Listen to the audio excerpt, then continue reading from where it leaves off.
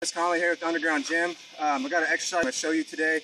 Uh, great core exercise using the entire body. Um, really demanding, but a good finish to your workout or to add into your workout.